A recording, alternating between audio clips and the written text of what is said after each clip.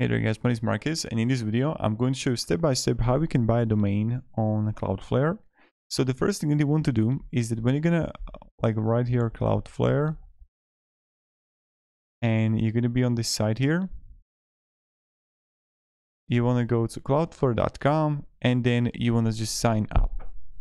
Now in the moment when you're to sign up it's completely for free you don't have to pay for anything and you will create an account you will get right here here, you're going to click domain registration.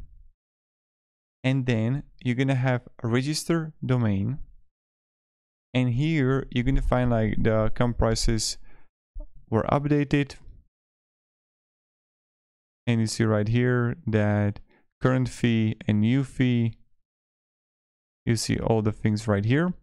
And what you want to do is just search for domain name. So I'm going to write here intuitive eating with marcus.com and you're going to click search here.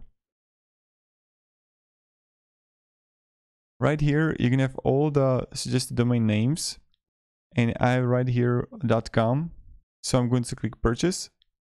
Then you have option to have it for two years three years even like 10 years damn or just one year and then you're just gonna add a first name, last name, organization, email address, number, address, address, city, state or province, postal code, and then PayPal.